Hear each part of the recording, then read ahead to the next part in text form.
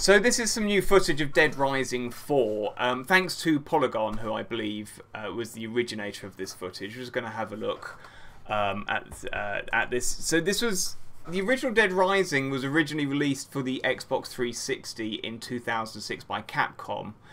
Um, it's produced by Keiji Inafune, famous for Mega Man and perhaps less impressively Mighty Number no. 9. Um, it was the uh, the sequel was out for the 360, the PlayStation 2, and the PC by Blue Castle Games, and then there was a spin-off and a third game in 2013 by Capcom Vancouver, which is exclusive to the Xbox One and the PC. Um, now, Dead Rising 4 is also by Capcom Vancouver, so if you liked the uh, the spin-off and the third game, then this may be the one for you. Well, that's the hope anyway. Well, let's hope so. Yes. Uh, the game is in fact subject, um, even though it's been marketed as being exclusive to the Xbox One and PC, it is actually subject to the same deal as Rise of the Tomb Raider. So it's therefore, in fact, a timed exclusive. So expect a PlayStation 4 version of this to appear around about a year or so after this release. So um, Microsoft had their checkbook out then. Yeah, it looks like it. Yeah, they've been been buying up their exclusivity deals. So it, it could be as early as Christmas 2017 because it's currently expected out um, in Christmas of 2016. Mm.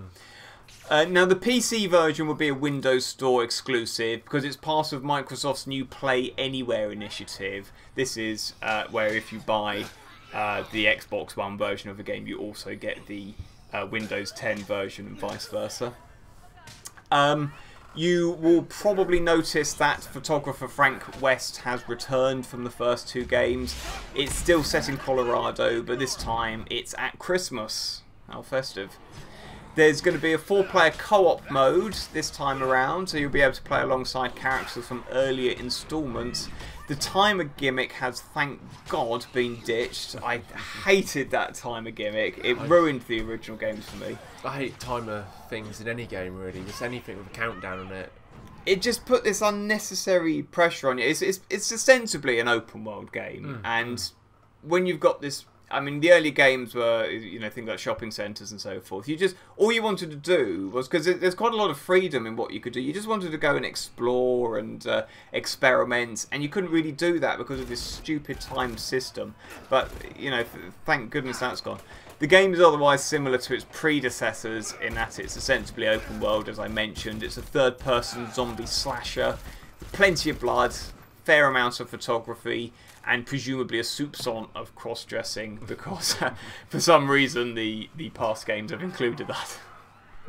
Um, it's currently due for release on the 6th of December 2016, which I would assume means it's right for slippage because that does tend to be the way these things go. So you can see in the footage there, um, it's it's kept its sense of humour. It, the, the previous games have um, sort of delighted in giving you really inventive ways to kill the zombies. And as you can see, he's, he's sitting on a uh, sit-down lawnmower with flamethrowers flame, flame attached. Because, you know, can you think of a better way to deal with zombies than that? I really can't, no. Um, Apart all, from get a little girl to shoot them, you know. Indeed, yeah. yeah. I mean, all, all you need, uh, all you need is to put Frank in a dress there, and uh, what what more could you want? I mean, it's very different than The Last of Us, where um, you know it's very on edge and stuff. Where this looks very fast going and comical. Yeah, oh, it's a very different game to The Last of Us. Yeah. So anyway, um, if you're a fan of the earlier installments, I'm sure you'll be uh, eager to see what's coming up. And there's just a few uh, screenshots to finish off. We're going to shut up now. We'll play that same footage again so you can watch it without the commentary who the hell wants to listen to us prattle anyway? Do please hit the like and subscribe buttons, and we'll catch you in the next video.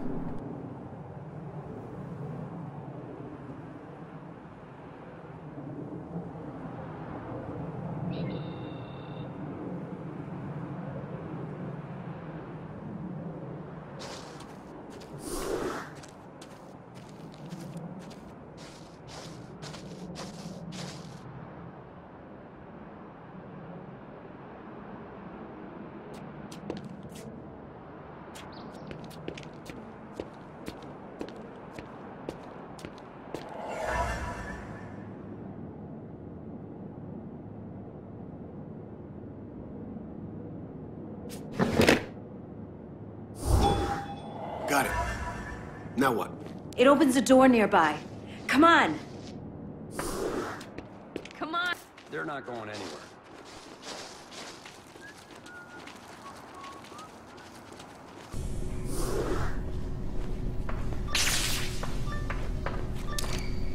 Ah, I wonder what the weather's like back home right now. Now I'm thinking about it.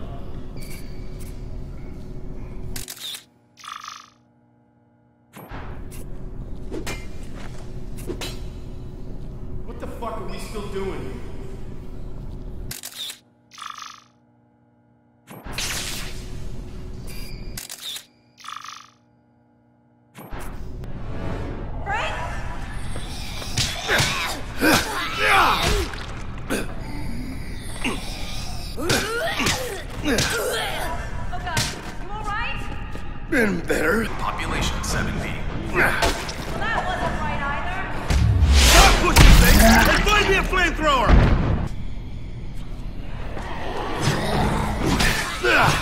That's...